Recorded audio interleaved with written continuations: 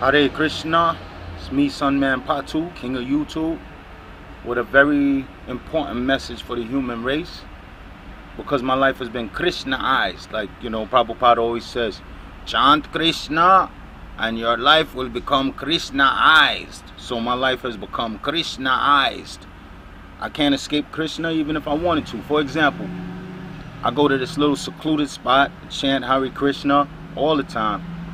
Overlook Park over there near um in East Elmhurst near near LaGuardia Airport. I go over there chant, mind my business, and I know it's a little awkward for maybe the neighbors to see a guy walking around there with a bag on his hand chanting.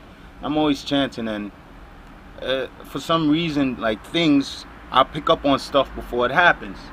Last night I'm over there chanting, and a car came through. I said, "Wow, where's the police? I ain't seen the police. I know they coming."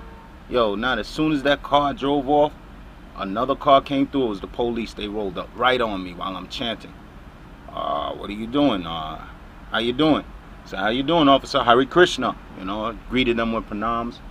Uh, how you doing? You okay? I said, yeah, I'm okay. I'm chanting Hare Krishna, and I showed them the bag. I said, look, no funny business. I got a card in my bag if you want one. It's like, nah, nah, I just want to make sure you're okay. It's like the police always try to come and disturb me while I'm chanting or whatever, but they never get out of order because Krishna's Isha or the controller. So I'm good. I don't feel no threat from the police because I'm not a threat to them. Actually, if you want to be honest, if the police want to keep their jobs, they will want to try to eliminate the Hare Krishna movement because what's going to happen eventually is this holy name is going to spread so much and it's going to start saturating human society. As a matter of fact, the saturation has already begun, and you can see the effects of the saturation when all of these people are waking up in so many different circles of life. So many people are becoming conscious. And what's going to happen to the police is they're going to have less and less work to do, and they're going to start getting fired. So, actually, the antithesis for the Illuminati is the Hare Krishna movement. Everything we teach is the exact opposite of the principles that the Illuminati uphold. The Illuminati, one of their principles are, are stated in the Georgia Guidestones. They want to reduce the population of the planet Earth to 100 million people or less because they feel that they could control things better. So where the police come in is the fact that they, they'll use the racist Ku Klux Klan Nazi Aryan tendencies of the police force, that's just the outward manifestation of the bigger disease. So really the police are not the problem. The police are like, you know when you have a boil on your skin and it's filled with pus? Pus is composed of white blood cells that are dead. Those white blood cells have already victoriously fought the battle inside your body against invading bacteria and invading species. And now they're dead and they have to go somewhere so they collect on the uh, on the upper layer of the epidermis, right under the topmost layer of skin. When you see pus, that means there's been a battle in your in your body. The Illuminati want to reduce the population of the planet Earth, so what do they do?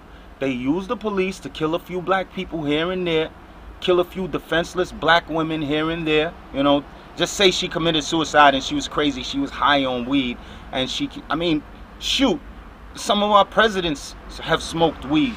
Our doctors, our lawyers, and judges have smoked weed, and none of them have uh, went to a jail cell and, and grabbed some hefty bags and hung themselves. This is just not common with marijuana. If you'll say they do this under prescription drugs, I'm more apt to believe that, or crystal meth, or, or even forms of cocaine, maybe, maybe heroin, but I've never seen people, uh, there's a lot of people in my area, they smoke weed. I've never seen them commit suicide after getting high. So I'm, I'm still confused about this Sandra Bland situation. But basically, the idea is to kill off enough black people till the black people get up in arms and we get angry and we start burning stuff. And then they have an excuse to come and just eliminate us and put the rest of us in concentration camps. And remember, social engineering always begins with black people. And then they experiment on us. They put the syphilis in us. The colleges, uh, what's that, Tuskegee experiment, look it up. They experiment on our people to see how far they could go. It's just like when you move on a block. If you're a drug dealer, you move on a block, and everybody on your block is drug dealers. Well, what you do is look for the strongest drug dealers and knock them off. Then it's easy to subdue all of the rest of the drug dealers on the block. Oh, he, yo, Caprice is ill. He came here and he killed the illest crew, and now he's the king of the block. So this is kind of what's happening. Uh, the Illuminati is basically using the police to foment more racial strife and more racial hatred. As if black people are not hated enough, they got to do more stuff. And I, I don't know. I don't know. It's just getting real crazy. But the purpose of this video is to let the people know that when it comes to education for our children, I think that we should teach them how to grow food. I think that when we have these senior trips and we're sending our kids to ranches and stuff like that, a dude ranch, we're wasting our children's precious time. We're wasting the opportunity to save the human family.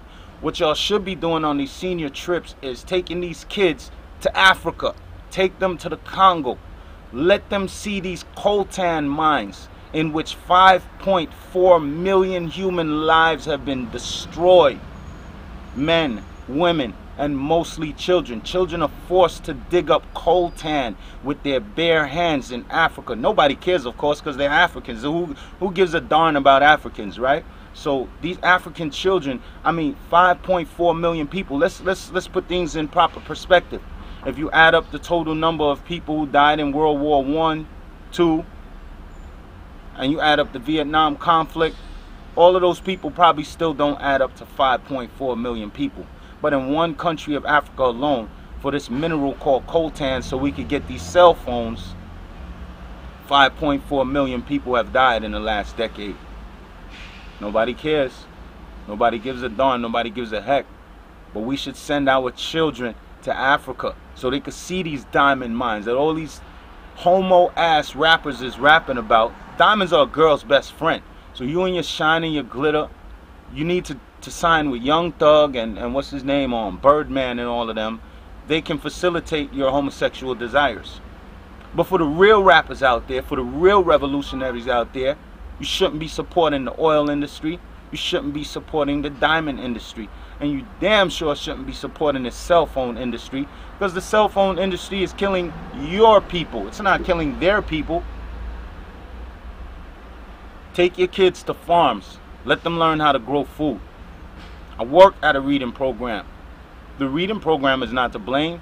We teach the children literacy, but we can't teach them human decency.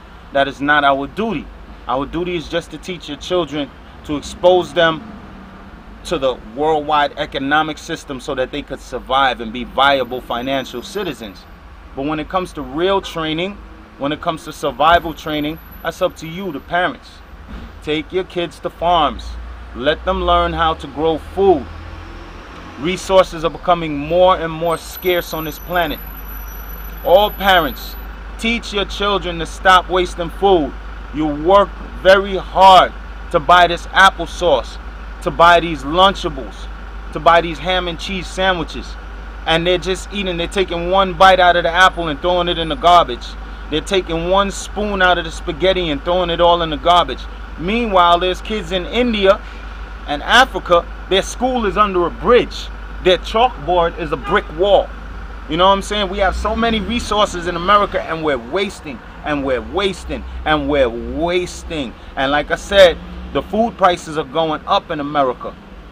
It's getting real hard. As a matter of fact, in Australia, it's hard to be a vegetarian because an avocado costs like five to seven dollars for one avocado.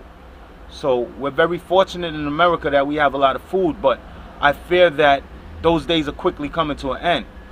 Everybody wants to raid the barn, but nobody wants to grow the corn. And that's a problem. So we don't have enough growers in America, and it will be massive starvation. I could see it. I could see the eating habits of Americans, and Americans are not used to fresh food. We're not even used to canned food. We're used to processed food and we're used to fast foods, high salt, high fat content, but low protein, low carb. Oh, it's high carb, but it's low protein, it's low mineral, it's low vitamin. So America's in, in real trouble because our children are zombies. And, and in case you don't know, when you take somebody off of a high fat diet, their body goes through withdrawals, which is why it's so hard when people first stop eating meat. They're like, I need some meat. They're craving actually for that high fat content that's in the food. And they start to go through withdrawals and it gets so painful that they just say, forget it. I'm going to McDonald's to have a hamburger. So I think that we should teach our children about carbon cycling. Carbon.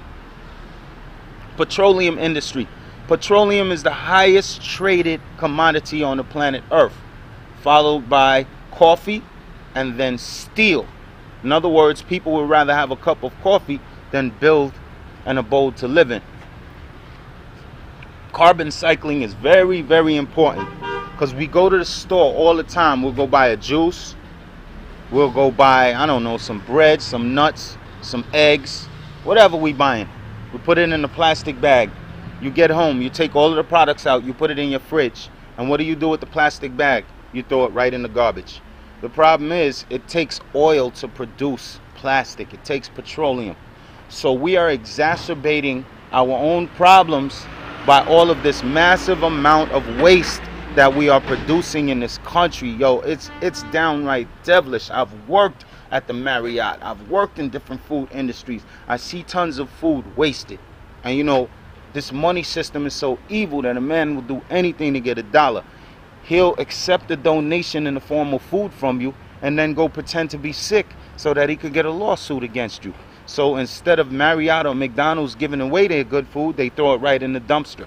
So America is the capital of waste. And it's not going to last. It's not sustainable. Teach your kids how to grow food. Teach them about carbon cycling.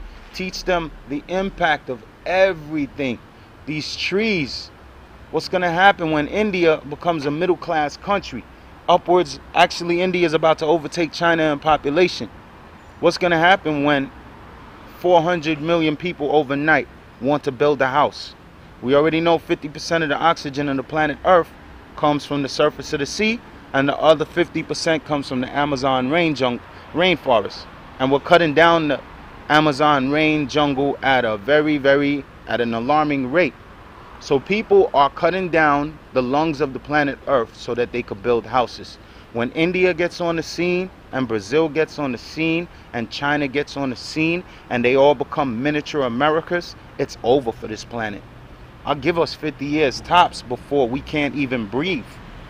It's getting so, so real. And every time I see these kids wasting food, I'm like, what are their parents teaching them? Are they... And you know what's crazy is a lot of the parents in New York City are immigrants. Or they come from other countries and stuff where things are very hard and they're not passing on their values to their children. At least when I was a kid, my grandmother said, Don't waste no food. We come from a poor background. She was poor when she was young and it was real hard, and she taught us the value of not wasting food. And that's where I get that from. You know, I carry my values with me through life. Y'all gotta stop wasting food. Y'all gotta stop wasting food. It's real, it's real bad out there. Let me gather my thoughts.